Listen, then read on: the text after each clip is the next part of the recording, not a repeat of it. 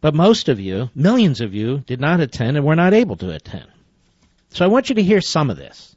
Because you're also hearing we must unite to defeat the Democrats. Great. Well, let the establishment unite under our flag, under our principles, for once, so we can actually win. Here's Ted Cruz today at CPAC. Cut one, go. There are a lot of D.C. consultants that say there's a choice for Republicans to make. We can either choose to keep our head down, to not rock the boat, to not stand for anything, or we can stand for principle. And they say if you stand for principle, you lose elections. The way to do it, the smart way, the Washington way, is don't stand against Obamacare. Don't stand against the debt ceiling. Don't stand against nothing. I want to tell you something. That is a false dichotomy. And we cut the You want to lose elections, stand for nothing. You want to lose elections, stand for nothing. That is exactly right. You want to lose elections, stand for nothing. And in the end, even that little documentary done on Romney, he was so afraid to take strong positions. And he was told, we're going to win. You won the first debate. Now we glide through. And he lost. And we're still told, don't criticize Obama. Don't criticize Hillary. You know, nothing personal while they accused Romney of, of murdering people and so forth. I mean, these people, they don't know how to fight. They don't know how to govern either. Cut two, go. How do we win elections? In the contrast between corrupt Washington and the American people, we stand with the American people. We stand with a straightforward and bold, positive agenda to inspire the young, to inspire women, to inspire Hispanics, to inspire everybody. Number one, defend the Constitution. All of it. Defend the First Amendment, the right to free speech, the right to a free press. For all of our friends in the media, free press means not having government monitors sitting in your newsroom the right to freedom of religion, and that means, among other things, not having the IRS ask citizens, tell me the content of your prayers. We need to stand for the Second Amendment right to keep and bear arms. We need to stand for the Fourth and Fifth Amendment rights, the privacy of every American. What is so radical and controversial about his statements, ladies and gentlemen? I know the establishment and their pundit friends. I know the consultants and the operatives inside the Beltway who populate the East Coast. I know that they want to turn this guy into some kind of a controversial figure. What's so controversial? And on what basis? If he's not a conservative, then who is?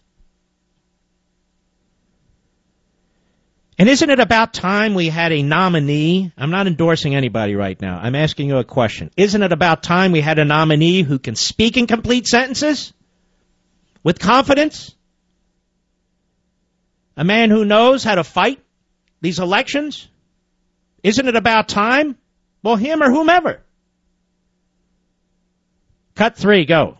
We need to repeal every single word of Obamacare.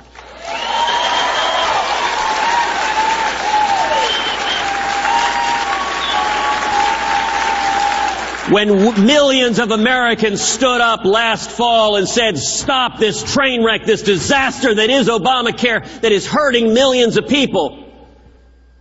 The Democrats said, the mainstream media said, although I repeat myself.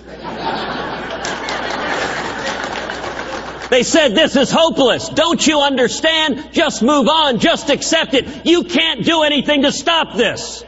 Yes, we can. Yes, we can. Mocking Obama. Yes, we can. Yes, we can. Now, there was Mike Lee. Mike Lee, who also a superb mind, a great politician. I want you to remember these two guys fought the establishment in their states and they won, and they're hated for it. That's why they're really hated. And they want to advance the cause of liberty. They're trying to break out from the mindset in Washington.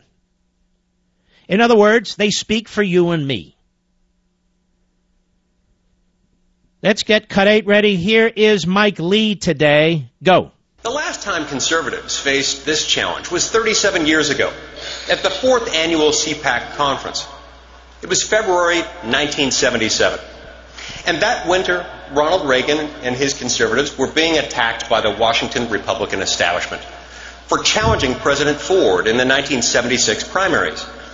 They were being blamed for handing a victory to, Dem- to Jimmy Carter and other Democrats. But Reagan knew that it was the party establishment that had lost that election by losing touch and losing credibility.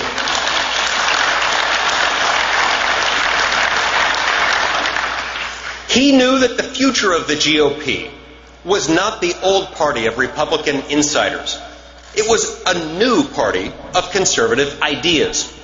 And so Ronald Reagan came to CPAC and he called for a new Republican Party, a party of principles and confidence and a positive agenda for change. And exactly what we need today a new Republican Party with new leadership. It can be done, it must be done. And Mitch McConnell apparently showed up at CPAC to a lukewarm response. I don't know why he showed up at CPAC. Is he a conservative? One more clip for Mike Lee. Cut nine, go. Conservatives then went about the hard, heroic work of applying timeless principles to timely problems, to pivot from purges to persuasion, from protest to reform. And those in the establishment never knew what hit them. You see, we can never forget that in 1976, anti establishment conservatives found a leader for the ages, and yet they still lost.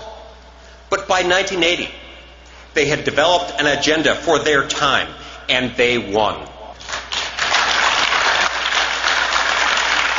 My fellow conservatives, it's time to do it again.